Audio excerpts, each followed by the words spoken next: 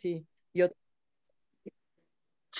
Importante, esta sesión principalmente es para todos ustedes, pero están todos invitados a participar. Entonces, si alguien gusta participar, con mucho gusto para hacer más dinámica la sesión y podamos aprender todos más. Eh, ya les había comentado en el chat a los residentes que bajaran una aplicación que se llama Socrative y si no, también la pueden consultar en línea. Va a estar abierta ahorita en el transcurso de la noche para que realicen su examen diagnóstico. Es importante que hagan los exámenes porque va a ser una manera en la que nosotros nos damos cuenta si están asistiendo a las sesiones y también hacer los exámenes iniciales y los exámenes finales. El nombre ahorita de la sala es CMCOM 2703-2023, que es el que está aquí en la diapositiva que pueden ver. Y después este, ya van a quedar registrados todos sus resultados. Nada más yo les voy a avisar cuando se abra la segunda parte de, del examen. Y bueno, entonces ya para iniciar esta sesión, eh, le quiero dar la bienvenida al Centro de Entrenamiento, eh, Centro Médico Nacional, 20 eh, de noviembre del ISTE, con el tema es reversión de bypass gástrico a la anatomía normal por desnutrición. Bienvenidos y le doy la palabra al doctor Montoya, que es su profesor titular. Muchas gracias, muchas gracias, doctora. Muchas gracias al colegio por la invitación, gracias a nuestro presidente, a su comité científico, Carlos Server. Eh, gracias por la invitación. Les agradezco mucho. Eh, es obviamente para nosotros un placer ser parte de esta enseñanza y de estos cursos y estos de actualización en, en, nuestra especialidad, la cirugía bariátrica. Nos permitimos elegir un caso que vale la pena. Es un caso que nos dio a nuestro centro una gran enseñanza y nos enseñó a, a, a casos tan difíciles como el que les vamos a presentar aprendimos mucho y es lo que queremos es transmitir justamente todo, todo lo que aprendimos de este, de, este, de este caso. Y es muy importante, como dijo la doctora Lisbeth, eh, que lo aprendan, lo comentemos y estamos para servirles. Damos por inicio a la presentación del caso. Adelante, por favor. Bien, buenas tardes a todos. Muchas gracias por la introducción, doctor Montoya. Vamos a comenzar con la presentación. Les voy a compartir la presentación y me dicen si hubiera alguna eventualidad. Y bueno, vamos a dar inicio a esto.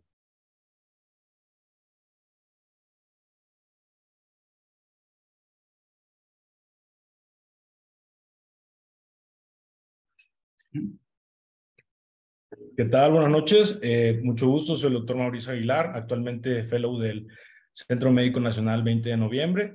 Eh, la última estadística que, con la que contamos en, en el centro, eh, pues marca que 45% de nuestros procedimientos son cirugías de revisión. Por lo tanto, nos pareció importante compartir un poco eh, de nuestra experiencia con este caso clínico. Y pues es una reversión de bypass gástrico a la anatomía normal por desnutrición. Se trata de una femenino de 12 años de edad, originaria de Acapulco, Guerrero, eh, pues soltera, eh, su escolaridad es la secundaria, era la secundaria en ese momento, pues antecedentes aerofamiliares negados, antecedentes personales patológicos también negados, antecedentes quirúrgicos, eh, pues una cirugía bariátrica, siendo un bypass de una sola anastomosis en marzo del 2020. Pues esto fue secundario a una obesidad con un peso máximo de 130 kilogramos. Sin embargo, a los dos meses posteriores a la cirugía, la paciente presenta evacuaciones tipo diarreicas, llegando hasta seis al día. Por lo tanto, acude nuevamente con el cirujano tratante, quien lo refiere a un servicio de gastroenterología y nutrición. Se da un tratamiento eh, pues realmente inadecuado por alrededor de 12 meses y la paciente llega hasta un peso mínimo de 30 kilogramos. Eh, entonces, posterior a esto, eh, llega a nuestro, bueno, llega a urgencias pediátricas a finales de diciembre del 2021. Eh, pues la paciente llega con datos evidentes de choque, pues taquicardia de 120, una presión arterial media de 47, temperatura 35.6. Neurológicamente llega con un Glasgow de 5, pues llega con datos de encefalopatía, así como convulsiones espásticas. dificultad respiratoria y evidentes datos clínicos de desnutrición severa, como alopecia, un pelo ralo, caquexia, eh, pues deformidad torácica, hiperkeratosis y palidez.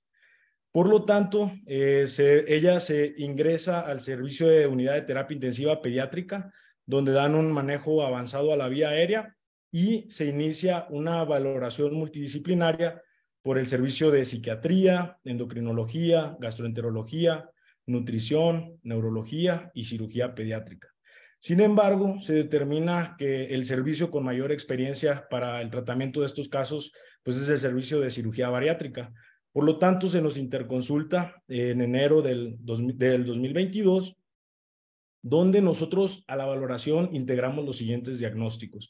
Una desnutrición grave, eh, con índice de masa eh, de 11.17 aproximado, una insuficiencia intestinal, un síndrome de realimentación en tratamiento, encefalopatía metabólica, eh, neumonía asociada a los cuidados de la salud ya en tratamiento, desequilibrio hidroelectrolítico secundario a una hipocalemia e hipercloremia, que ya estaba corregida en ese momento, y múltiples deficiencias de vitaminas y minerales.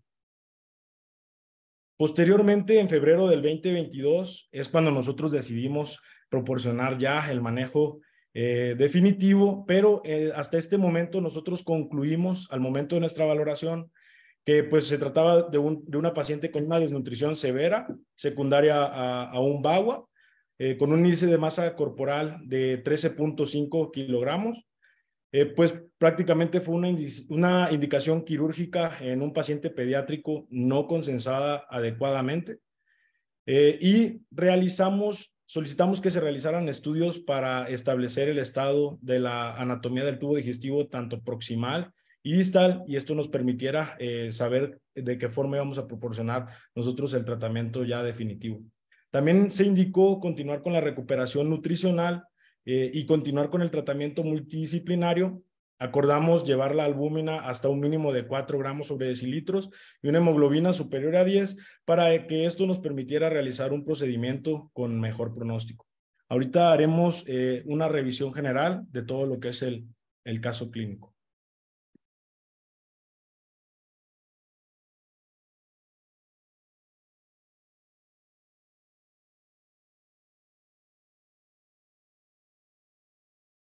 Bien, para continuar vamos a hacer una breve ejemplificación, que fue el procedimiento que se realizó con nuestra paciente.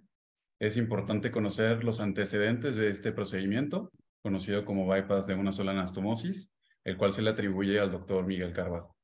En 1997, el doctor Robert Rutledge, como tal cirujano de trauma de la Universidad Carolina del Norte, él fue el primero al que se le atribuye el primer procedimiento llamado mini bypass gástrico, que también se conoce en alguna literatura como bypass gástrico de única anastomosis, el cual se dejó en desuso porque también tenía un poco de controversia con otros eh, procedimientos y materiales quirúrgicos eh, con las mismas iniciales.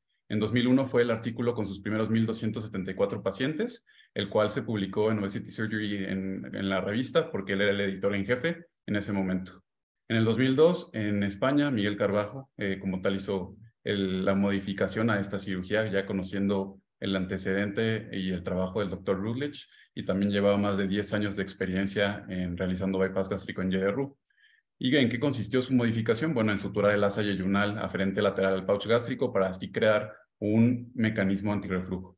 En el 2015 se creó como tal el International Club de ambas cirugías porque en mucha literatura actual, y ustedes lo conocerán, a mayor medida se trata muchas veces del mismo procedimiento. Entonces, a la derecha podemos ver al doctor Carbajo y a la izquierda al doctor Rutledge, que se le invitó en ese eh, consenso internacional en España en el 2004.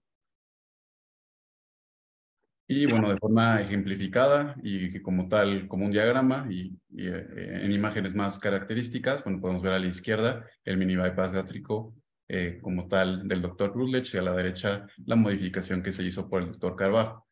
Lo importante en esta, podemos ver las características técnicas que nosotros debemos de respetar. Una válvula antirreflujo por lo menos de 8 a 10 centímetros, es lateral de forma anticólica, directamente en un pouch gástrico largo que es creado a, través de la curvatura menor. Y bueno, podemos ver la distancia entre la lateral-lateral anastomosis que por lo menos nos dice que sea de 2.5 centímetros. El pouch gástrico, como ya lo comenté, ser de forma larga, de 18 a 20 centímetros, y hay una característica que se debe respetar si se toma en cuenta la, eh, como tal, contabilidad total del intestino, en la cual el 60% va a ser la asa biliopancreática o aferente y el 40% nuestra asa común. Los tres aspectos técnicos que debemos de considerar durante esta cirugía, bueno, la calibración y el tamaño del pouch en diferentes eh, análisis y metaanálisis aleatorizados, bueno, se utilizan sondas de calibración de 36 o 37 French y en muchos estudios de corte con menos eh, significancia estadística puede hacer una variabilidad desde 28 hasta 42 French. La creación de la anastomosis, bueno, como ya vimos, es de 20 centímetros la longitud que debe tener en una volumetría si se cuenta con ella entre 50 y 60 cc y el punto incidir o el landmark que debemos de respetar, la incisura angularis, es donde está la pata de ganso y respetando el ángulo de His para evitar las fugas en este mismo sitio. Eh, la engrapadora lineal que, que, corresponden y que más recomiendo es la de 45 milímetros y la longitud de asa, bueno, pues los diferentes estudios y los que más se ha eh, como tal implementado en cambios paramétricos es la longitud de la misma, de la asa aferente, la que va a condicionar como tal el impacto primario sobre la pérdida de peso y asimismo también eh, las diferencias nutricionales que vamos a tener en el postquirúrgico. Entonces, como pueden ver aquí en los más grandes grupos que se han estudiado, 279, 180 pacientes, 200, que es la característica promedio, que siempre se estudia esta técnica es la que viene en los libros, y 150, 180 en 101 pacientes. Ahorita vamos a comentar de forma muy breve cuáles son las características de dejar más corta o más alta, eh, más larga el, el asa pancreática. Y bueno, al final, pues los 400 centímetros de canal común para disminuir una deficiencia proteico-calórica. ¿Cuáles son los estatutos? Bueno, los estatutos que se tienen desde la IPSO, desde la Federación Internacional de Cirugía de la Obesidad, desde el 2018 en Deluca, fue el primero en hacer un declaramiento de posicionamiento de esta cirugía con una actualización cada dos años, ¿no? En el 2020 y actualmente en el año pasado. Es un procedimiento mixto, no se considera únicamente malabsortivo, y la principal preocupación siempre ha sido el reflujo biliar y el cáncer en el sitio de anastomosis. Eh, aunque son complicaciones potenciales por las cuales en primera instancia este procedimiento no se aceptó, en menos de 2% permanece como un riesgo teórico. Lo que ya conocemos de cada uno de los procedimientos bariátricos y que comparten en común la disminución de peso, la mejora de comorbilidades, el aumento en la calidad de vida para los pacientes y una tasa aceptable de complicaciones. Y como podemos ver, pues va aumentando en incidencia de forma anual. En Europa y en Asia ya se posiciona como el tercero en frecuencia de forma rápida únicamente los metaanálisis que existen y las comparaciones actuales entre anastomosis de una sola, eh, perdón, eh, bypass gástrico de una sola anastomosis y bypass gástrico en YDRU, con seguimientos a 1, 2, 5 años y siempre se compara la solución a la diabetes, a la hipertensión y bueno, la diferencia entre los distintos eh, procedimientos metabólicos que existen.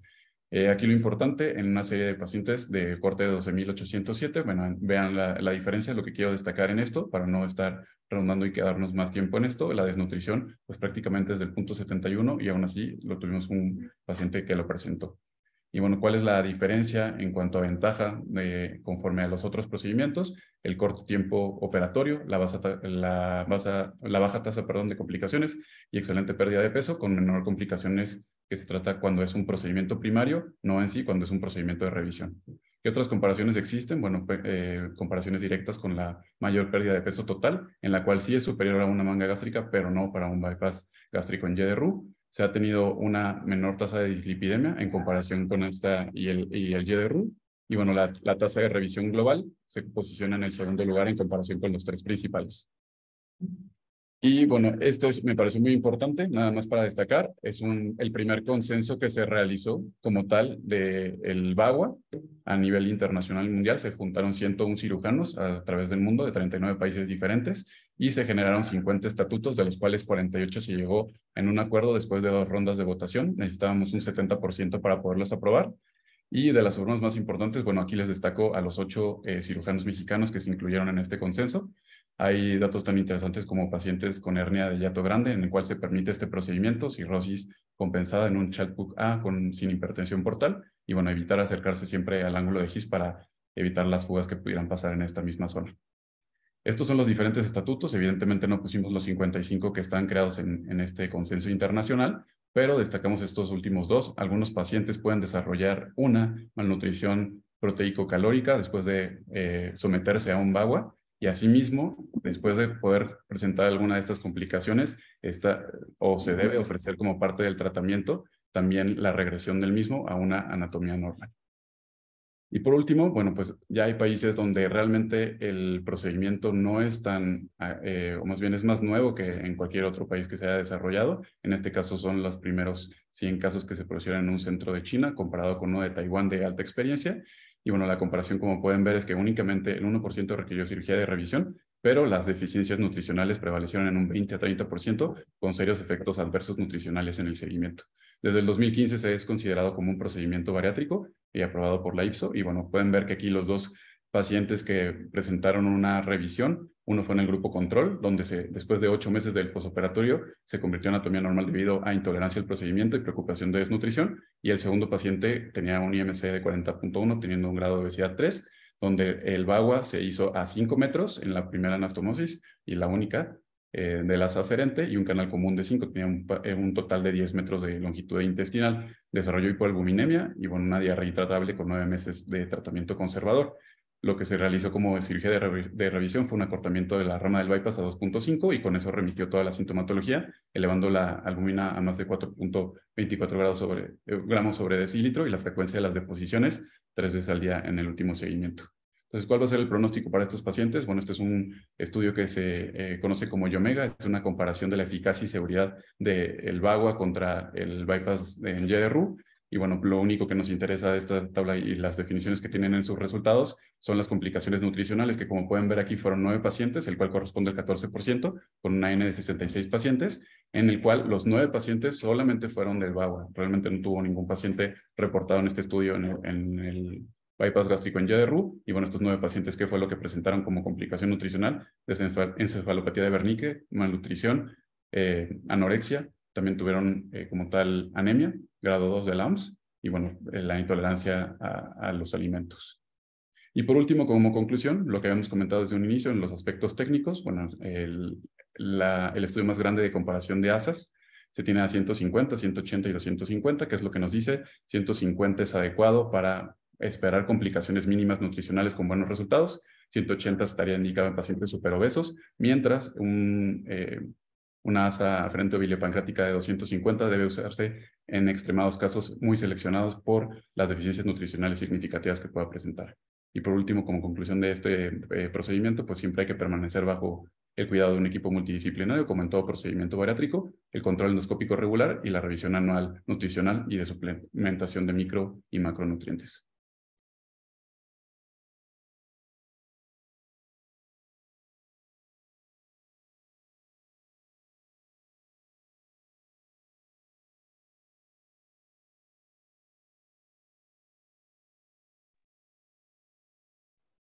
Continuando con nuestra clase, hablando de las indicaciones de bypass reverso, es importante mencionar que en la literatura no existen unas guías como tal que nos indiquen cuándo va a ser el mejor momento de someter a estos pacientes a, conversión a la anatomía normal. Eh, en la bibliografía vamos a encontrar una serie de casos aislados, algunos reportes de, casos, donde vamos a ver que las indicaciones más eh, frecuentes van a ser las siguientes. Dentro de ellas vamos a tener la hipoglicemia hiperinsulinémica, una hipocalcemia recalcitrante, un síndrome de dumping refractario a tratamiento médico, la intolerancia a la restricción eh, posterior a bypass, generalmente esto por úlceras eh, marginales, crónicas, y una desnutrición que muchas veces se va asociada a la pérdida de exceso de peso.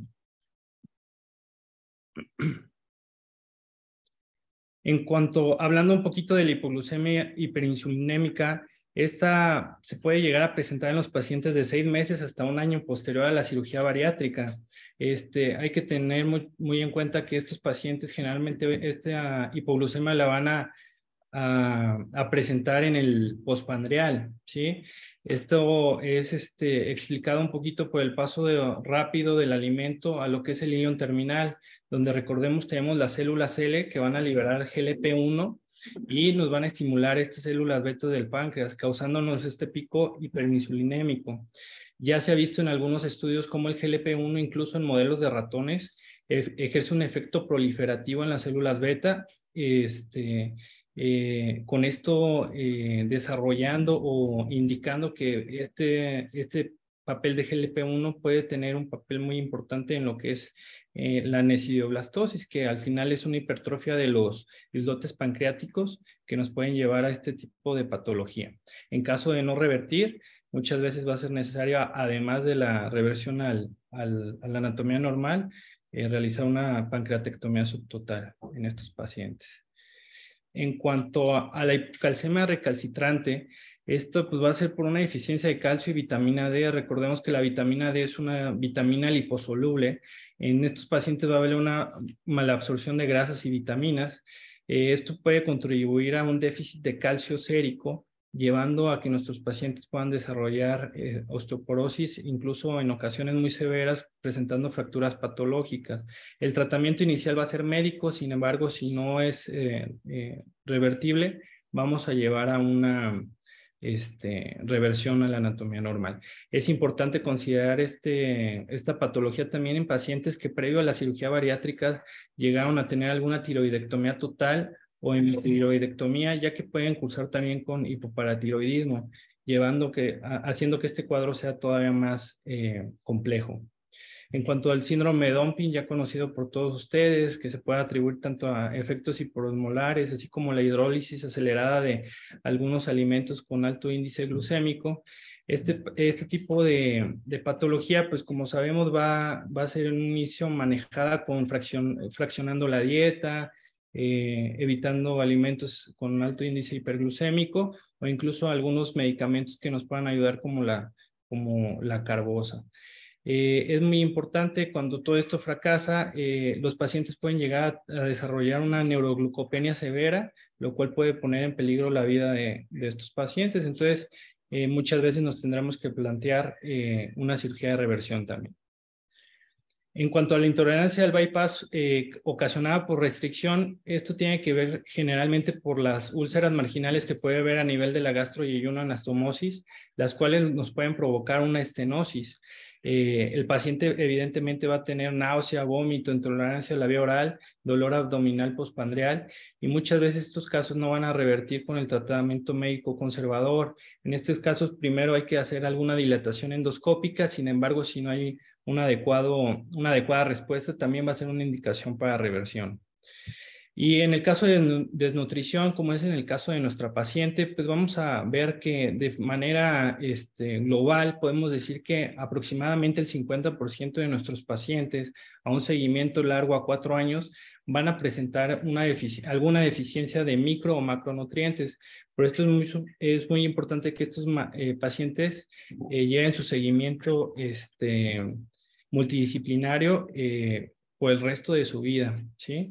en estos casos, eh, como en el caso de nuestra paciente que llegó con una desnutrición severa, con un IMC de, de, de 11, así como los hallazgos transquirúrgicos de una asa común de 100 centímetros, ya vimos anteriormente este, las medidas eh, mínimamente requeridas para que no haya una malnutrición tan severa como en este caso. En casos muy severos, pues vamos a tener que revertir a, la anatomía normal.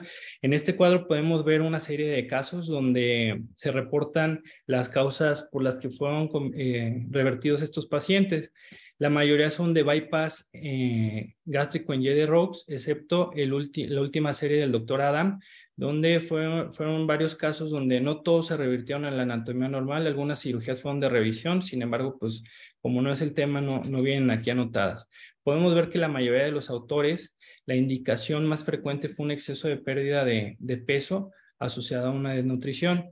Es muy importante en estos pacientes también valorar si nuestro paciente va a requerir alguna nutrición para enteral total previo a la cirugía o alguna incluso eh, nutrición enteral, ya sea mediante sonda de gastrostomía o yeyunostomía, para poderlos llevar a, a un control mínimo adecuado para poder realizar esta, este tipo de, de intervención.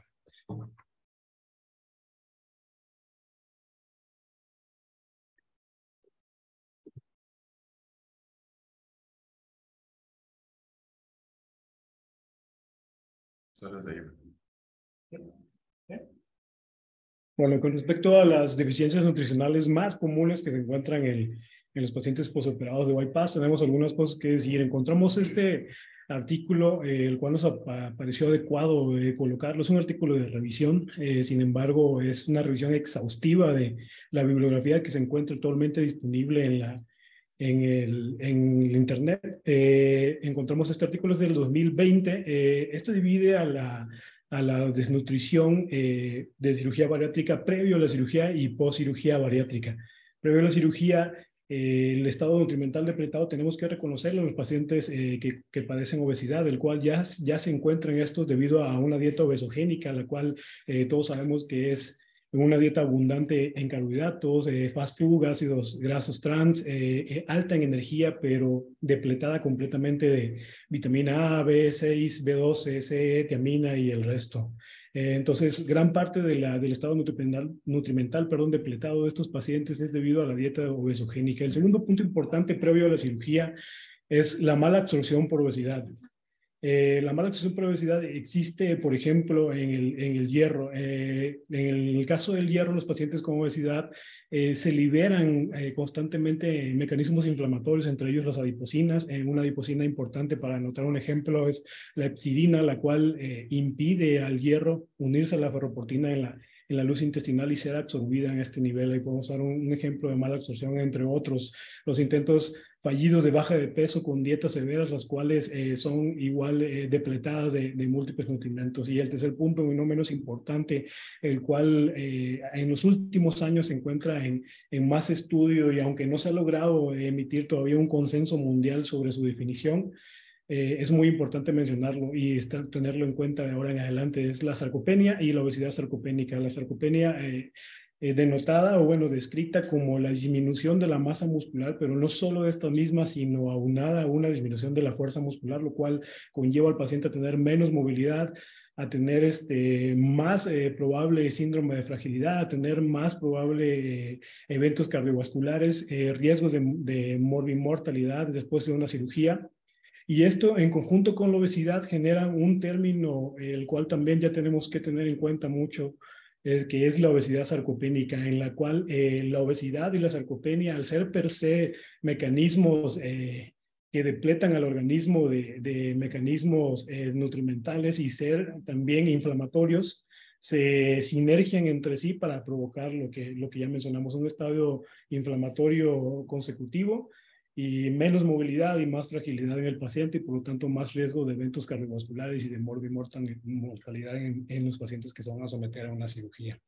Eh, con respecto a posterior a la cirugía, eh, pues se pierden primero los macronutrientes en el primer, en el primer periodo de la, de la cirugía, sobre todo de post-bypass, es el 25% de las proteínas y posteriormente el 72% de la grasa, con la concomitante malabsorción, malabsorción posterior de micronutrientes, micronutrientes perdón.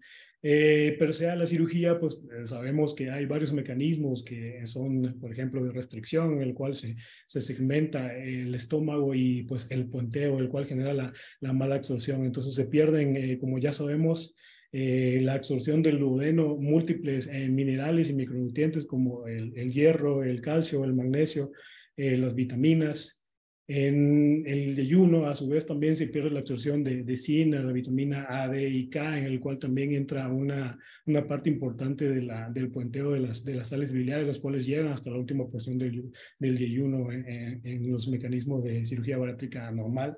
Eh, o bueno, eh, aceptados. en cuestión del estómago también, a, partir de la restricción o de la resección, en el caso de la manga, que no viene el tema en este momento, pero también en la, en la, en la segmentación del estómago, pues tenemos una menos, una menos combinación del, del ácido clorhídrico y de la, del factor intrínseco con la, con el hierro, el cual en este sitio se convierte de, de, férrico a ferroso para ser absorbido posteriormente, y la vitamina 12, la cual se, se une al factor intrínseco para ser absorbida posteriormente en el hígado. Entonces hay muchos mecanismos que, que, intervienen posterior a la cirugía per se, a la técnica de la, de la cirugía, los cuales promueven los, los, el riesgo de tener un déficit nutrimental en nuestros pacientes, los cuales tienen que estar siempre en constante suplementación.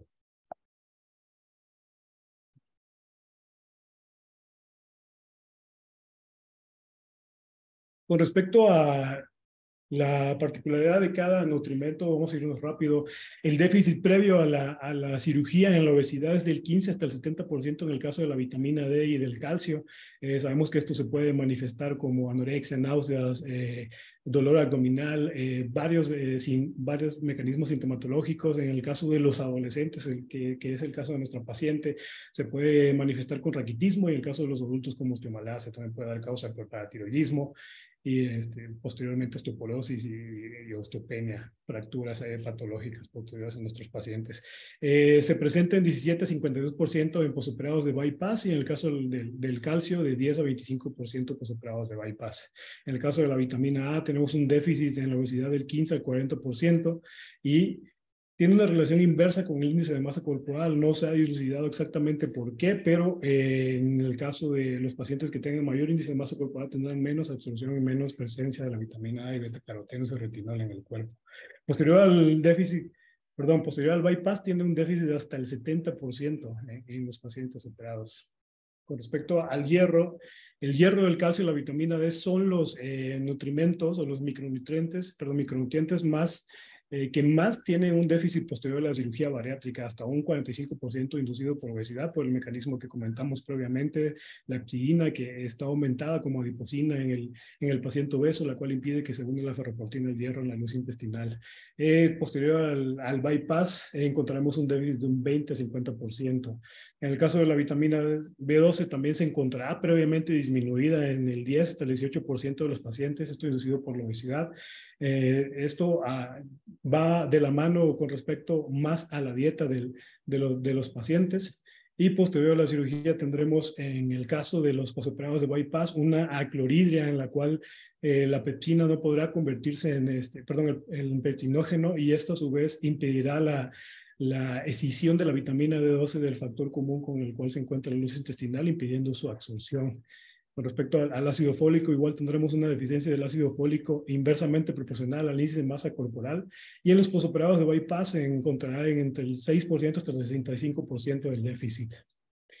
La vitamina juega un papel importante en las deficiencias nutrimentales, es algo que pasó en nuestro paciente. Eh, esta, podemos recordar que no se produce endógenamente, endógenamente perdón, en el humano, tiene una deficiencia entre el 1% al 29% en los pacientes obesos previos a la cirugía eh, post-bypass podemos encontrar una deficiencia del 1 hasta el 49% de los pacientes que puede ser muy bien eh, sustituida con, con suplementos eh, orales posterior a la cirugía. Eh, la tiamina puede dar síntomas de confusión, anorexia, taquicardia, calambres, debilidad muscular y nerviosa, alteraciones del, del sistema nervioso central. Cuando la pérdida de peso es muy rápido, como lo que pasó en nuestro paciente, eh, debido a las longitudes de las asas intestinales, eh, también debido a la deshidratación por la diarrea que, con la que cursó la paciente, los niveles pueden descender casi totalmente en dos a tres semanas, ocasionando la, la presencia de la encefalopatía metabólica, el síndrome de Wernicke. Su déficit eh, debido a esto, pues puede tener consecuencias devastadoras en agudo con el síndrome de Wernicke o en crónico con el síndrome de Korsakoff o incluso con una presentación de los dos. Con respecto a la, a la malnutrición eh, proteico-calórica, eh, se encuentra del 1 al 13% de los operados del bypass. Solo el 1% está descrito que requerirá hospitalizaciones. El screening sugerido posterior a la, a la cirugía es con bioimpedancia o actometría dual con rayos X, la cual tiene eh, más eh, capacidad de medir la masa muscular y la, y la nutrición proteico-calórica. La albúmina puede ser un buen, un buen eh, mecanismo inicial en dado caso que no tengan estas dos cosas. Sin embargo, recordemos que como en el caso de nuestro paciente tenía un estado inflamatorio severo y la albúmina fue un papel importante eh, en, el estado inflamatorio severo, disminuyendo sus, sus, niveles. Entonces no es un buen parámetro para medir el estado nutricional en este caso. Aunque si solo tenemos eso, puede usarse. La malnutrición proteico-calórica se ve en mayor medida en en el bypass en J. con un asa biliar mayor a 150 centímetros y en el caso del bypass de una anastomosis con un asa bilopancática mayor de 200 centímetros. Hay más riesgo en este caso y cuando hay una asa menor a 250 o 300 centímetros. La pérdida excesiva se debe en mayor medida eh, al bypass del duodeno y la mayoría del ayuno y puede ir acompañada de edema, hipolinemia, anemia y pérdida de cabello, síntomas con los cuales llegó nuestra paciente también.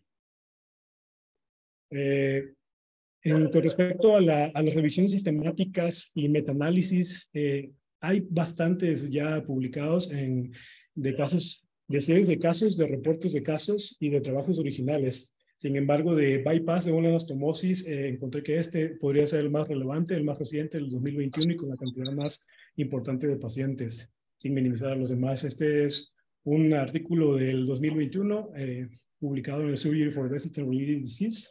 Es una revisión sistemática y metaanálisis en el cual eh, se, establece que la reversión anatómica con una incidencia tiene una incidencia, perdón, de 0.6% a 3.7% en general. Se buscaron las palabras como reversión, eh, bypass de una anastomosis, mini bypass gástrico, desnutrición. Se encontraron aproximadamente 182 este, eh, publicaciones, de las cuales al final obtuvieron una, una N de 14 al, al tener las, las, las medidas de, de exclusión pertinentes para, para, lo que buscábamos. Perdón, para lo que buscaba. Eh, con respecto a las variables más importantes que, que describen en este metaanálisis es la edad, la edad promedio tiene de 42, si se observan, si observan la mínima es de 31. Esto también es un punto importante, no hay publicaciones o no hay muchas publicaciones o, o en los buscadores que nosotros eh, tenemos a la mano para, para adquirir información publicaciones que hablen de adolescentes. El, la edad mínima que encontramos en una revisión sistemática más vieja del 2014 era de, de Villalonga precisamente y, y, era de, de, 21 años. En este caso, el, la edad mínima es de 31 años, la máxima es 69 y la edad promedio es de 42.8. El intervalo para la reversión fue en promedio de 23 meses. Eh, la, el promedio de, de medida del, canal común fue de 383 centímetros, de, de la fue de 214, de la albúmina fue de 25, que es un aproximado de 3.4 eh, milimoles, y el promedio del, del, índice de masa corporal en, en los pacientes, eh, al hacer los pacientes, perdón, este, previamente operados para eh, bypass de una anastomosis de 47, después, este, perdón, al momento de la reversión de 22, después de la reversión de 26.5 en promedio.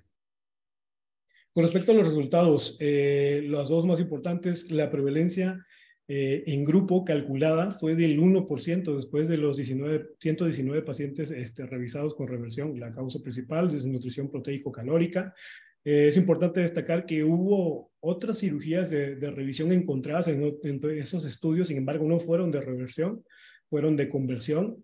Eh, normalmente fueron convertidos a, a bypass eh, eh en YDRUC, entonces no fueron incluidos en estos resultados, pero es importante mencionarlos. Eh, el 10.9% de complicaciones perioperatorias, la más, la más importante, como lo marca en la, en la eh, gráfica tenemos la fuga y la estenosis, las cuales se presentaron ambas en 3.2%, es seguidas de la falla hepática eh, posterior a la, a la reversión, eh, el sangrado también en 1.6% y una obstrucción intestinal de 0.8%. El tiempo quirúrgico promedio fue de 139.1 minutos. La movilidad total no describe exactamente eh, acerca de qué, pero fue del 30.8% en pacientes con obstrucción severa.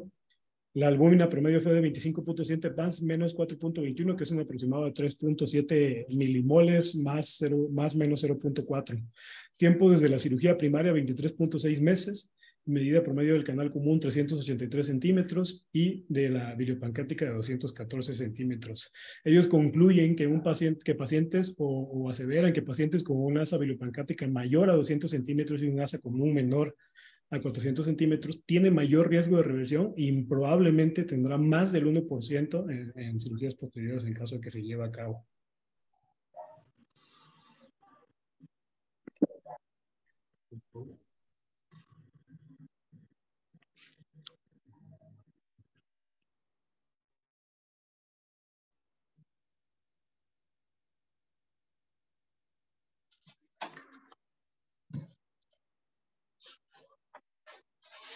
Ok, eh, vamos a continuar eh, con una parte pues muy interesante que va a ser la resolución quirúrgica. Eh, nosotros para dar el, el, tratamiento complementario pues realizamos la reversión del bypass gástrico a la anatomía normal y así fue como se fue realizando. Esta es la paciente justo antes de la cirugía. Eh, pues prácticamente nuestro abordaje eh, fue similar a un bypass gástrico estandarizado, eh, por forma también laparoscópica. ingresando pues bajo visión directa y con apoyo del endoscopio transquirúrgico identificamos el estómago nativo, así como la gastro y anastomosis y esto nos permitió realizar una gastro-gastroanastomosis, que es la que se está viendo. Eh, la misma se realizó con una eh, grapa morada de 60 milímetros y las enterotomías se reforzaron con dos planos con una sutura por N2 ceros. Posteriormente, ahorita la vamos a, ubicar igual con ayuda del endoscopio. Eh, vimos que, que esta eh, tuviera un tránsito eh, que hasta, hasta lo que es el duodeno y después de eso, justo después de eso, identificamos la gastro y una anastomosis. Ahí lo que se está viendo, pues prácticamente es la gastro-gastroanastomosis y pues, y pues su grapeo.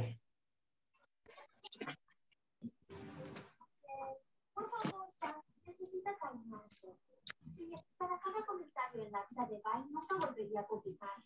Probablemente se durmió. Ya. Prácticamente ese sería, eh, pues después de identificarlo con el endoscopio, pues sería el primer paso eh, y la primera anastomosis que, que se realizó. Se prosigue al cierre de las enterotomías y como había mencionado previamente, con ayuda también del endoscopio, eh, identificamos la, la gastroyeyunoanastomosis y se diseca en la porción posterior del pouch gástrico a dos centímetros superior de la misma y se realiza una sección para liberarla. Esto nos permite realizar ya un conteo de las asas intestinales en la cual encontramos que desde la válvula ileocecal a lo que consideraríamos la porción proximal del asa común, con una medida de 1.4 metros, y eh, lo restante que considerado el asa biliar de 3.5 metros eh, de la cirugía eh, primaria, ¿no?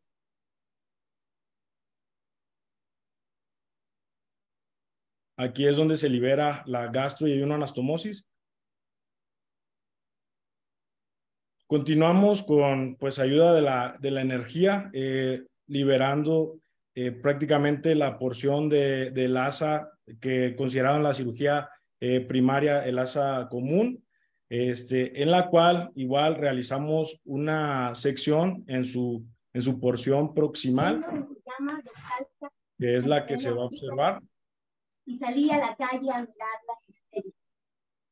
Yo imaginé que saldría que la vería y lo sabría. ¡Mamá!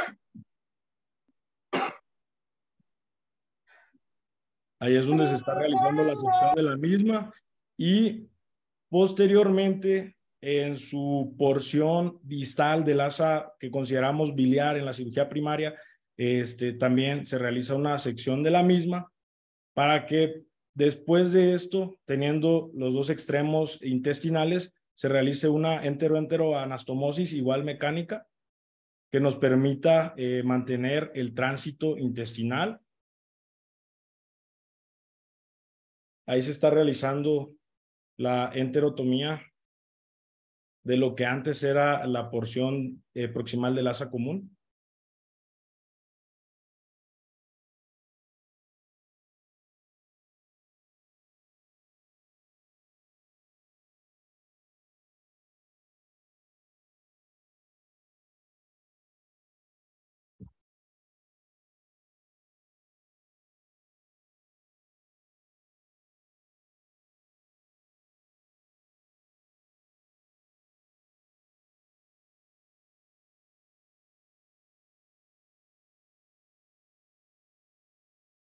Ahí vemos cómo ya se tienen eh, pues prácticamente los dos, las dos porciones o los dos extremos este, intestinales.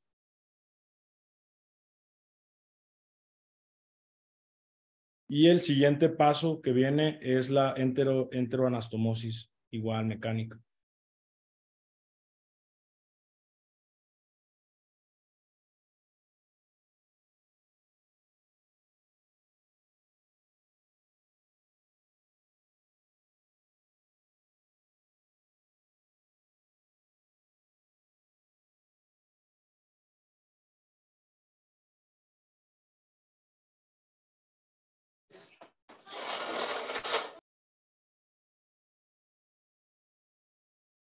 Ahí se observa cómo está quedando la anastomosis eh, pues prácticamente lateral para unir las dos porciones intestinales y continuamos con el cierre igual de la enterotomía con una sutura prolene dos ceros. Posterior a eso, eh, realizamos pruebas eh, para, para visualizar ausencia de fugas, así como revisamos una adecuada hemostasia y colocamos un drenaje eh, pues tipo Blake, prácticamente abocado a esta zona.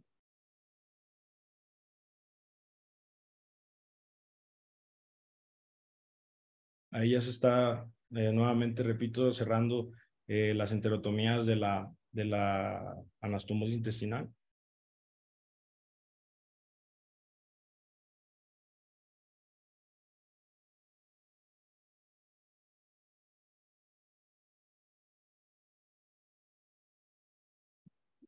Y así queda adecuadamente el tránsito intestinal.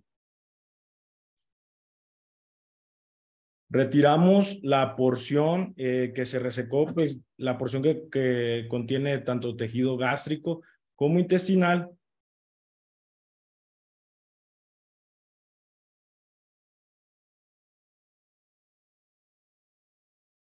que es esta que estamos observando.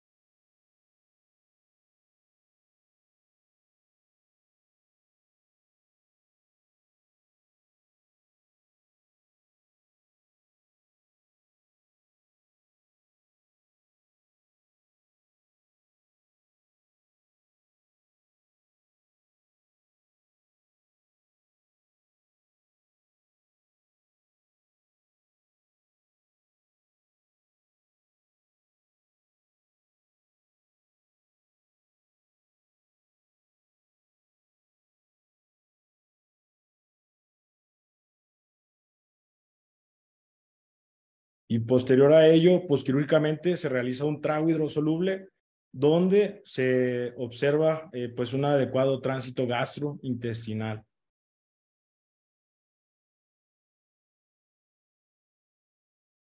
Posteriormente, pues vemos la paciente que recupera peso y más importante también, eh, pues todo su estado general neurológicamente eh, también remitió lo que es la encefalopatía y pues de haber ingresado con un, con un este, un Glasgow de 5, posteriormente ya ella tenía un Glasgow de 14, eh, acá ya se ve con un índice de masa corporal aproximado de 22 y pues tuvo una adecuada evolución.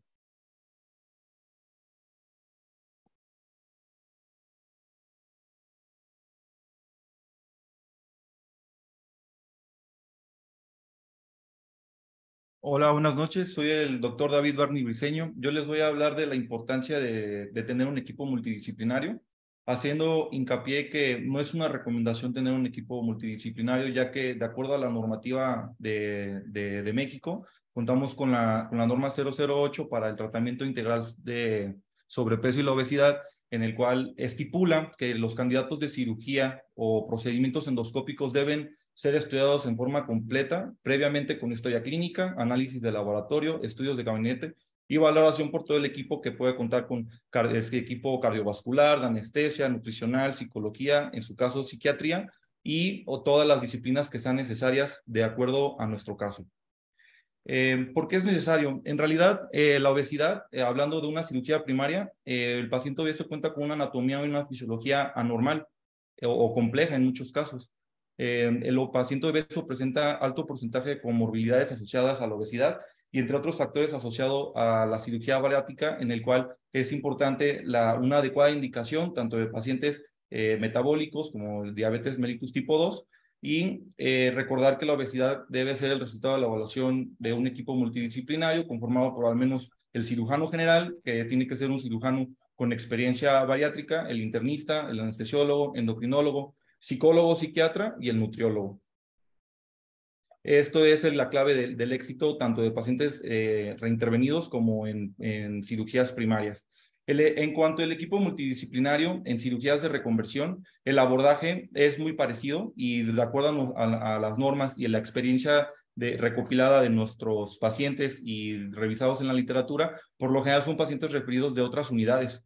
Entonces, hay que hacer un estudio eh, anatómico completo, preoperatorio, que cuente con imagen y endoscopía, una evaluación por un nutricionista, que en realidad tiene que ser todo un equipo, el cual va a determinar el mejor manejo para llevar a un paciente, eh, ya sea eh, que tenga malnutrición o sin malnutrición, a un estado adecuado. Una evaluación psicológica, ya que algunos pacientes su indicación de malnutrición, entre, entre otras sintomatologías, puede ser por algunos hábitos que pudieron haberse identificado con un buen manejo eh, multidisciplinario preoperatorio y que deben de continuar su manejo postoperatorio. Y en estos casos, eh, rehabilitación. En, en, nuestro caso, todos estos fueron, estuvieron, servicios estuvieron involucrados en el tratamiento multidisciplinario, ya que recordando el caso de una paciente que llegó con un estado de nutrición avanzado, severo eh, y múltiple, fue ingresado directamente a la unidad de cuidados intensivos pediátricos, en el cual fue valorado por un equipo multidisciplinario eh, de, pediatría, en cual involucró eh, infectología, hematología, cardiología pediátrica, paidopsiquiatría, gastroenterología pediátrica y cirugía pediátrica. un equipo de angiología, ya que el seguimiento y los recambios de los catéteres venosos centrales fue llevados por angiología, a servicios agregados como puede ser el servicio de, especializado de enfermería, entre otros. Eh, nuestra paciente estuvo hospitalizada 12 días en la unidad de, terapia intensiva pediátrica con los diagnósticos iniciales de choque séptico, el cual fue secundario a una neumonía lobar versus a una infección de vías urinarias complicada, distrés respiratorio severo, el cual fue manejado con intubación, eh, intubación invasiva, un derrame pleural eh, bilateral, el cual fue reportado como paraneumónico simple, una desnutrición crónica severa, la cual hizo insuficiencia intestinal, hipovitaminosis y desnutrición múltiple. La paciente se presentó con eh, crisis convulsivas y deterioro del estado neurológico, de secundario encefalopatía multifactorial metabólica, el cual se identificó edema cerebral y delirium de mixto. También otras eh, alteraciones como trombocitopenia y anemia. En, nuestro caso, pues haciendo como un resumen de cómo fue abordado por nuestro equipo multidisciplinario, la paciente requirió de una estabilización y un tratamiento de, intensivo del, del, foco séptico, posterior eh, suplementación de los déficits de vitaminas y, del, y del desequilibrio hidroelectrolítico para llevar a la paciente a los mejores valores nutricionales para ser valorada por la cirugía. En, nuestro caso, la paciente, una vez que se recuperó de la terapia intensiva, fue valorada eh, por eh, psiquiatría, ya que presentaba cuadros de delirium mixto, alucinosis orgánica, entre, entre otras patologías como eh, depresión y ansiedad. El estudio, el abordaje inicial, el estudio de la anatomía fue con con trago varitado y el endoscopia y posterior con esto la preparación y la planificación quirúrgica, la cual es una cosa muy importante que debe ser llevado por un equipo con, con experiencia. En la panendoscopia se puede observar que no hay ninguna alteración. Eh, se reporta con una cámara gástrica modificada por el antecedente quirúrgico tubular de 10 centímetros de longitud, asa aferente y eferente con aspecto iliar y no se observa ninguna úlcera marginal, la cual nos podría, eh, la cual nos descarta que la paciente en realidad no tuviera alguna alteración en, intolerancia de la, de la vía oral. Eh, la nutrición en realidad fue un equipo eh, muy completo que fue abordado por el equipo de gastroenterología pediátrica, nutricionistas, medicina interna, también cirugía general, porque al inicio la paciente, pues para evitar un síndrome de alimentación severo, se inició con una nutrición parenteral de 30%, la cual fue gradual hasta llegar a un 100%. La suplementación de vitamina intravenosa con vitamina B12, vitamina A, vitamina K y multivitamínicos. Hay que recordar que las características de la paciente eh, no, nunca se descontinuó eh, la dieta enteral, sin embargo, el aporte enteral que se podría eh, dar era insuficiente, incluyendo las vitaminas que se pudieran haber dado por, por vía enteral. Eh, dentro del abordaje, algunas revisiones, eh, no se cuenta con, una, con guías claras, específicas de qué se debe de hacer con estos pacientes, pero e, e, ejemplificando un caso de, de, que se vaya a realizar una cirugía de reconversión de anatomía normal, pues primero es el abordaje para ver la anatomía de nuestro paciente, eh, la endoscopía, el, abordaje psiquiátrico y en caso de ir eh, eh, identificando diferentes patologías o cosas que puedan empeorar el pronóstico de la paciente, tratarlos adecuadamente. El nutricionista para una adecuada ingesta calórica, el equipo quirúrgico experimentado, ya que en algunos casos eh, va a ser necesario valorar la necesidad de poner una gastrostomía o yeyunostomía y finalmente un equipo clínico experimentado el cual va a abarcar todas las especialidades que sean necesarias. Esto con la... Em, con, con, con, el desenlace de tener un equipo multidisciplinario completo y dar y tener así los mejores resultados realizamos nuestro equipo una revisión de una serie de casos en búsqueda de cómo diferentes autores, autores reportan cómo abordan su equipo multidisciplinario.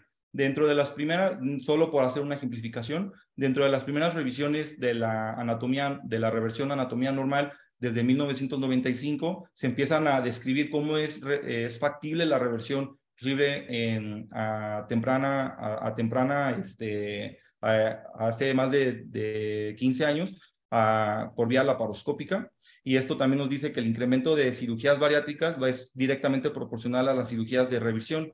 El, primer, el primer estudio que encontramos que habla del equipo multidisciplinario es en el 2015, que lo forma parte del, algoritmo en el que cual abordaron estos pacientes, forman parte de medicina interna, endoscopía, psiquiatría y nutrición.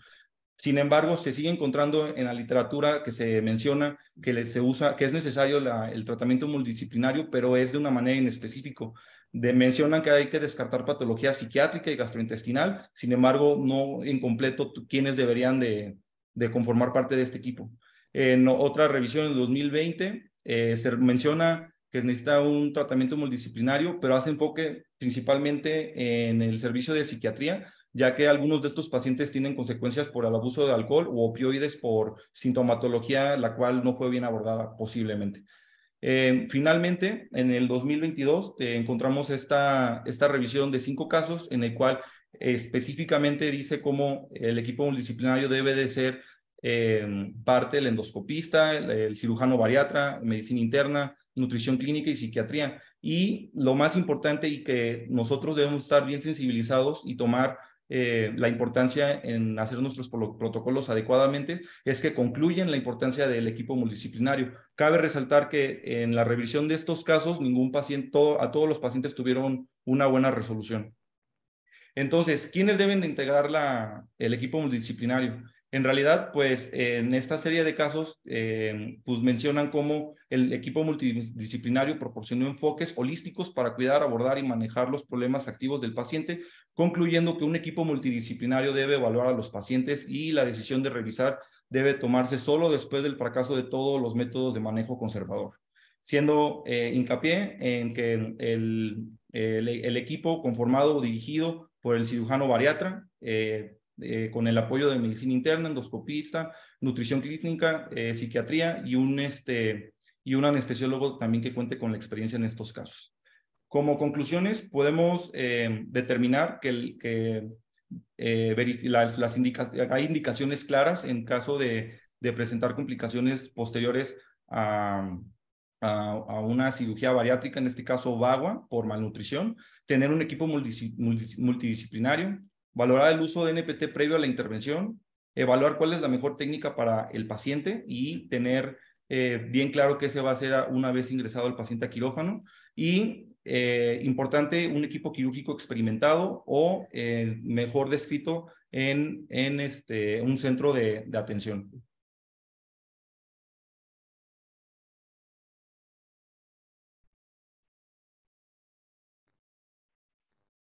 Bien, buenas noches a todos. Eh, soy David Lomelí. Les agradezco su atención. Damos por finalizado la presentación de nuestro caso y a nombre del Centro Médico Nacional 20 de noviembre y del doctor Montoya, pues agradecemos eh, que nos hayan acompañado esta, esta tarde noche. Les doy la palabra al doctor para palabras finales y quedamos atentos de sus posibles dudas que hayan surgido durante el caso clínico. Muchas gracias. Muchas gracias, buenas noches. Pues mira, obviamente les compartimos esta, esta experiencia. Eh, creo que lo que se comentó acerca del caso, el resumen del caso, el motivo por cual la niña llegó con nosotros, es muy importante porque eh, para, para un eh, curso y para el colegio es muy importante transmitir la enseñanza a, los, a todos los residentes o, o fellows de los diferentes centros.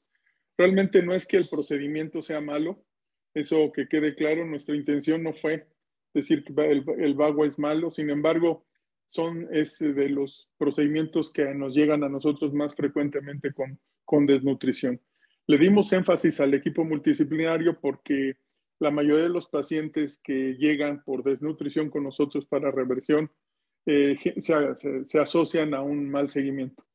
Eh, el procedimiento es bueno, el procedimiento está cada vez más eh, teniendo eh, cirujanos que lo realizan, por lo tanto, pues obviamente buenos resultados.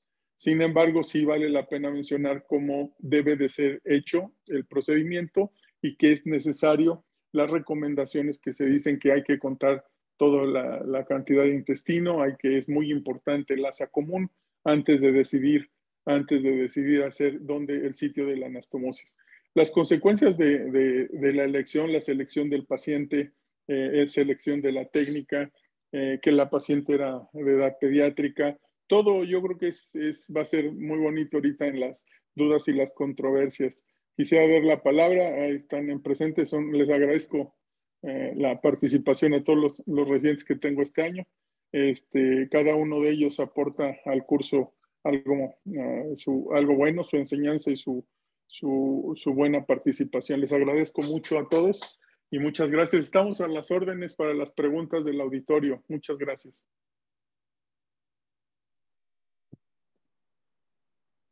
Buenas noches. ¿Quién del auditorio? Veo que alguien levantó la mano, el doctor José Luis Pérez, si quiere comentar.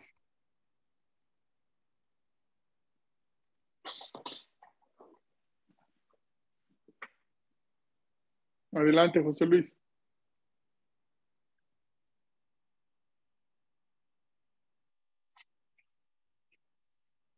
Bueno, no, se escucha. No sé si alguien más quiera comentar algo. ¿Alguna pregunta sobre el caso para los doctores? Mm, buenas noches. Este, bueno, me presento. Bueno, yo soy la doctora Miriam Karina González Pérez. Soy cirujana pediatra pues de formación y pues bueno, egresé hace unos años del curso de, de cirugía bariátrica del Centro Médico Nacional el 20 de noviembre, este, del doctor Montoya, al que le, le mando un afectuoso saludo. Este, y bueno, aquí pues me surgen varias cosas en caso de esta paciente. Y creo que el punto medular es obviamente el, la parte del equipo multidisciplinario. Ahora, ¿qué es lo que surge, bueno, con estos pacientes o cuál sería la inquietud y la pregunta? En estos pacientes que se revertió a una anatomía normal, si llega obviamente otra vez a, un estado de obesidad, ¿cuál sería el procedimiento que se le ofrecería a este paciente si llega a, caer otra vez en, un estado de obesidad? ¿Cuál sería la mejor opción y por qué? Digo, es una pregunta a lo mejor muy compleja por, por el caso de esta paciente, pero en un futuro, si esta paciente eh, vuelve a caer, ¿cuál sería la mejor opción? Eh, la respuesta es primero, ojalá y que no nos caiga a nosotros porque ya va a perder su derechohabiencia. la, pero bueno, este, eh, eh, esta paciente vive en un medio obesogénico. Ella tiene como antecedente que su papá, el, abuelo de la paciente fue operado, igual de un bagua. La mamá de la paciente fue operada de un bagua.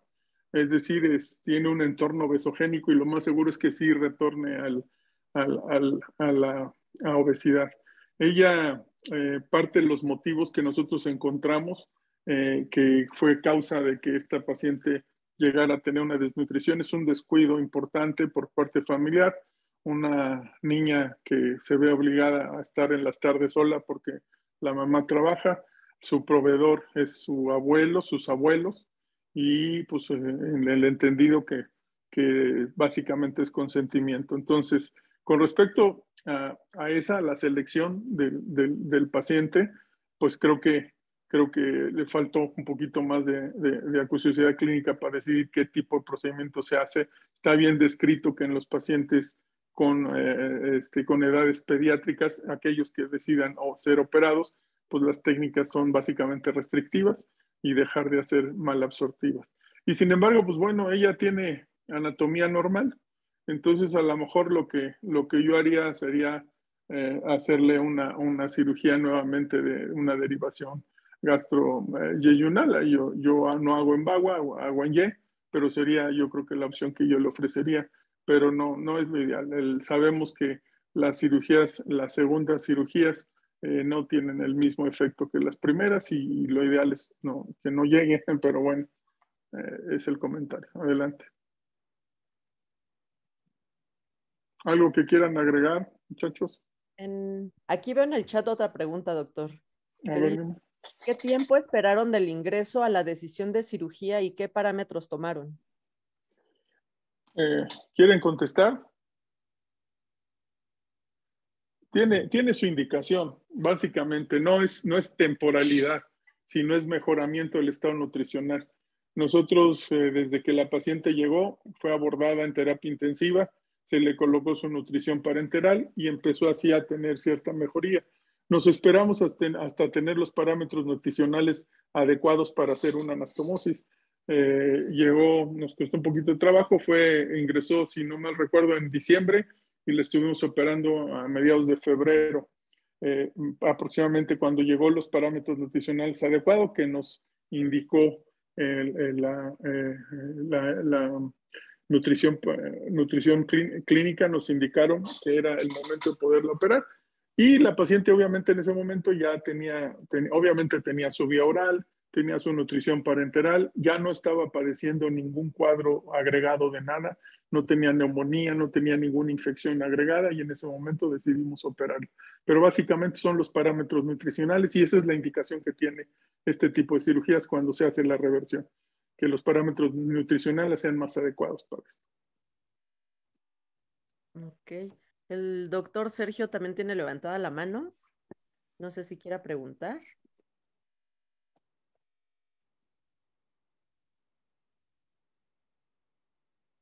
O Will. ¿Quieres preguntar? Hola, buenas noches. Eh, Will Medina, del pelo de del Hospital General de Tláhuac. Eh, doctor, buenas noches. Eh, entiendo la parte que no hay que satanizar este procedimiento. Eh, sé muy bien que es muy bueno, que da muy buenos resultados.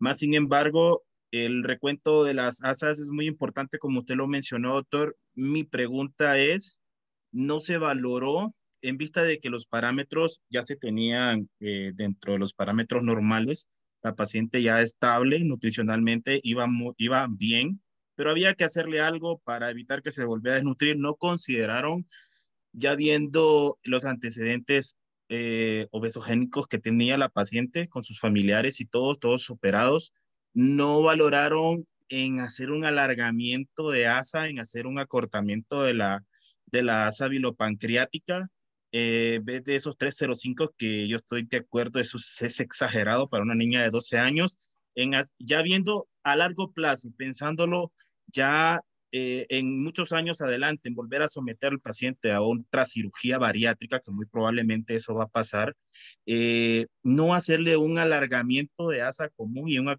o un acortamiento de asa bilopancreática, eh, como por ejemplo tenía 305, según lo que escuché por mis colegas, a dejarle a un 150, qué sé yo, no se consideró, doctor, hacer ese procedimiento antes de convertirla no. a una anatomía normal. Mira, en este caso del que estamos hablando, no, porque era una, yo creo que si, si, si regresamos a la indicación de la cirugía, eh, eh, lo que está estandarizado en pacientes adolescentes, yo creo que no es una, no es una técnica la mejor para, para tratar pacientes adolescentes. Entonces, creo que, y, en el comité que nosotros tenemos, pues obviamente todos lo sustentamos y no era una cirugía para haberle hecho a una, a una persona de 13 años. Eh, sin embargo, eh, eh, hemos revertido y hemos convertido pacientes en vez de, de a hacerlo Y, pero en pacientes adultos con otras características. Esta jovencita pues pasó, la verdad, pasó una vida muy difícil, llegó en coma, como escuchaste, llegó con, a terapia intensiva, duró prácticamente un mes en terapia intensiva. Pues realmente lo que querían y lo que nosotros queríamos también es salvarle la vida y regresarla a su, normalidad. Se logró y ese era el, motivo de, en este caso en particular. No así en otros que hemos revertido en Y, pero este caso era, ese fue el motivo. Muchas gracias.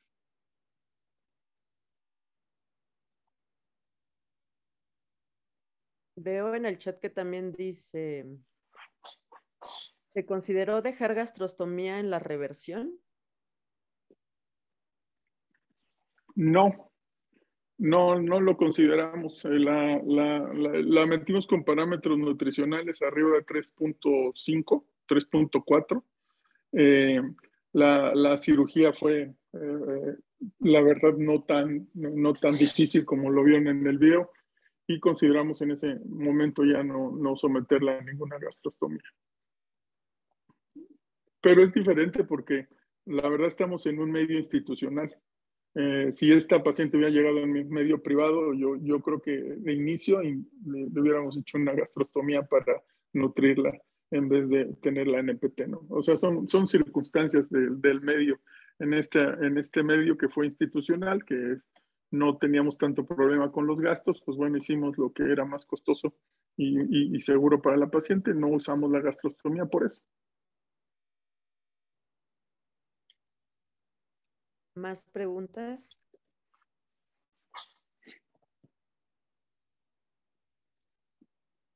Yo, yo la verdad lo que, lo que sí quisiera es que quede claro eh, que para nosotros es muy importante transmitir la enseñanza de este tipo de, cirugías que no, no, no es satanizar, sino es prevenir. Eh, la gente que, que todos los que realizamos este tipo de cirugías debemos de tener bien, bien consciente la anatomía de nuestra técnica de la cirugía y los requisitos, el tamaño de las asas, eh, conocer eh, perfectamente eso antes de realizar y decidir en qué sitio se hace la anastomosis. Yo creo que la, la, enseñanza que nos está dejando este, este, este caso, y es específicamente para eh, la, gente que, que, hace estas técnicas y, o cualquier otra que sea experto en hacerlas, no debe de confiarse, porque este, este caso no fue de alguien principiante. Entonces, es más a mi favor que es alguien que se confió, que hizo la técnica y que no, no cuidó una de las recomendaciones más importantes, que es cuánto se deja de asa común. Entonces, es muy importante esto y lo que queremos es realmente prender el semáforo. El equipo multidisciplinario es muy importante. Eh, la selección de, la técnica quirúrgica en un adolescente, eh, cuál es la mejor técnica si se decide hacer. Eh, queda claro que en la norma oficial mexicana no, no nos autoriza operar gente menor de 16 años. entonces sí es muy importante, mayor de 18. Entonces sí es muy importante menores de esto solamente bajo un protocolo muy estricto. Y eso es como nosotros lo tenemos en el 20 de noviembre, el protocolo estricto, y a pesar de eso no operamos adolescentes. Y es precisamente porque es un, mecanismo muy complejo entre que el adolescente entienda el procedimiento, que la familia acepte, que el joven, es, es, es muy difícil el, el, el, tratar adolescentes. Entonces, mi recomendación es que, que no satanizar un procedimiento. Eh, creo que es un procedimiento que ha demostrado que tenido, tiene actualmente unos buenos resultados a nivel mundial, y, pero sí, como todo lo que presentó la bibliografía, una de las, una de las consecuencias eh, es, es, vigilar al paciente en su estado nutricional. Eh, nadie me ha preguntado, pero eh, ¿por qué decidimos hacer la resección de la gastro-yeyuno? nosotros decidimos hacer la resección de la gastro-yeyuno porque hay un bajo porcentaje de pacientes al ser un epitelio de transición en una anastomosis gastroyeyunal, eh, hay un bajo porcentaje de presentación de cáncer. Eh, y eso por nosotros decidimos por eso quitar, hacer la resección gástrica para que, de ese segmento gástrico, para que esto no se presente a futuro. Eso es. ¿Alguien más que quiera preguntar? Yo, doctor. ¿Me escuchan? Sí, cómo no, claro. ¿Cómo está, doctor? Es un placer para mí estar de regreso y felicitarlos primero que nada, haciendo el comentario de que, bueno, creo que lo que le ofrecieron al paciente, como siempre, no fue lo más fácil, sino lo mejor, y pues creo que eso es primordial. Pero ahora, eh, este tema estuvo muy en boga en, el último congreso de ISO y demás, sobre todo porque hay muchas personas que por la facilidad o por tener el recurso están empezando a utilizar prótesis de aposición en este tipo de casos para conectar el reservorio con el nativo. Y bueno, eh, hay algunas otras cuestiones que hemos visto, otros casos que se han presentado también aquí en estas sesiones, donde se hace una especie de puenteo con el asa intestinal del reservorio al nativo. Eh, ya más o menos yo sé cuál es la respuesta, pero no, no sé si nos pudiera comentar algo al respecto. ¿Qué otras opciones habría? Si esto se podría hacer cuando realmente la anatomía no nos permite. Pero me gustaría escucharlo. Gracias, gracias por, por tu comentario, Dardo. Sí, ya lo hemos hecho. Lo hicimos, lo hicimos, eh, lo intentamos hacer, pero básicamente en un paciente que tuvo coledocolitiasis. Y hicimos un bypass y hicimos conexión. Eh, le intentamos hacer una, una, conexión por aposición al, al, estómago nativo. Se hizo, pero falló un poquito la, la, endoprótesis porque todavía no había en México hace como dos años, más o menos. Entonces me metí, hice una gastro-gastro pequeñita para suficiente para que el endoscopio pudiera entrar y resolver el cuadro de coledocolitiasis, ¿sí? Hacerla. Pero pues en este caso lo que nos importaba era revertir la anatomía normal porque era un caso muy dramático enviado de, ya sabes, los recomendados de allá de Guerrero. Este, en fin, un, caso muy, muy conflictivo que lo que quería, incluso la familia, lo que quería ya dejar de padecer este problema. Y por eso decidimos la anatomía normal y no conservar nada. Se operó de 15 años la reversión, entonces era, aún era una edad joven para esto. Y un conflicto grave porque la niña traía problemas muy serios con la mamá porque sentía que la mamá la forzó a operarse. Entonces había un conflicto emocional muy, muy, muy difícil. Lo mejor, y creo que fue lo que lo que hicimos. No, como dices tú, no es lo más fácil, pero se hizo. Y la paciente está bien, eh, actualmente está bien. No tiene todavía obesidad, este, está en índice de masa corporal normal, pero pues no dudo que, si se descuida suba, ¿no? Claro, felicidades. Gracias, Eduardo. Solo no sé si el doctor Rodríguez querrá dar unos comentarios para cerrar la sesión. Claro, hola, buenas noches a todos. Este, estaba viendo, llegamos a 100 participantes, un buen número de inicio, y luego ya comenzó la fuga, ¿verdad? Pero bueno, este, primero que nada, felicitar al doctor Montoya y a su equipo, excelente caso. Fue la mejor decisión que se pudo hacer hecho a mi punto de vista. Este, ese, ese, estos pacientes son muy complejos, ¿verdad? Este, casi todos nacen con una mala selección o algo de mala técnica, llámese de una anastomosis o en, en eh, hacerle un bypass a una niña de 13 años puede ser este, algo, algo catastrófico y lo está viviendo, ¿no? Porque este, se pasaron por alto muchas cosas. Eh, la otra parte, el, el factor socioeconómico es súper importante. Yo creo que ustedes lo han vivido ahí en Tláhuac, ¿no? Cuando haces este, bypasses un poquito extendidos tiene la consecuencia de que a lo mejor el paciente no tiene la capacidad económica para responder a todos los suplementos que necesita, ¿verdad? El seguimiento, pues es importantísimo y a una niña de esta edad, pues básicamente le debe estar dos pediatras dentro del protocolo dispuestos a trabajar con ella junto con el grupo multidisciplinario, psicólogos, etcétera, etcétera, ¿no? La reversión siempre son complicadas y lo que hizo el doctor Montoya ahí con la resección de la gastrointestinal está súper acertada y está bien. El, el hacer una, una gastro-gastro este, ficticia, las fístulas, acuérdense, esas aparte que ganan peso son dolorosas. El paciente siempre tiene, está relacionado con un dolor abdominal ahí a, a describirlo, ¿no? Este, la otra parte de las, de una anastomosis, aparte de la pérdida de peso, puede aunarse al reflujo. Y esos ahí me tocaron dos recientemente, que aparte de la pérdida excesiva de peso, traían, traían un reflujo intratable. Entonces, el punch estaba tan, tan, tan maltratado que teníamos mucha duda de hacer la, hacer la, la unión otra vez gasto-gasto en la reversión. Pero yo creo que lo primero que, que hizo el doctor Montoya pues, fue resolver el problema. Y el problema, yo me lo imaginé, aunque no me decía, traía un conflicto psicológico tremendo con una presión familiar y, y anexos hacia, hacia el grupo, ¿verdad? Eh, el haber esperado que estuviera en nivel nutricional óptimo o casi óptimo, pues fue el acierto principal de que todo saliera adecuadamente. Es un caso muy, muy interesante y son casos que se tiene uno que tratar con pinzas y lupa y antes de hacer la decisión de, revertirlos. Eh, otro comentario que, ¿por qué no corregirlo, no? Eh, y hacer razas más cortas. Nunca sabemos que hacer razas más cortas la absorción va a ser la adecuada. Entonces, este paciente, si le haces una cirugía de ese tipo y no responde y sigue perdiendo y sigue con diarrea, es, estás condenado a otra cirugía, ¿no? Entonces, mejor vamos a hacerle de esa forma, como lo hizo el doctor, y, esperar a que no, no gane peso y estar en contacto con ella a, que no suceda lo mismo, ¿no? Entonces, creo que está todo acertado bien estudiado, excelente caso, lo felicito mucho al doctor Montoya y a su equipo. Y bienvenidos a todos, ¿no? Empiezan, empiezan, ¿cuántos, cuántos empezaron, Lisbeth? ¿Cuántos pelos? no me pasa la lista, Flor, todavía no, no tengo el número de... Sí, pero son bastantes, son bastantes. Anda, anda, creciendo, aumentaron otros dos, dos, centros más, creo, dos o tres centros más.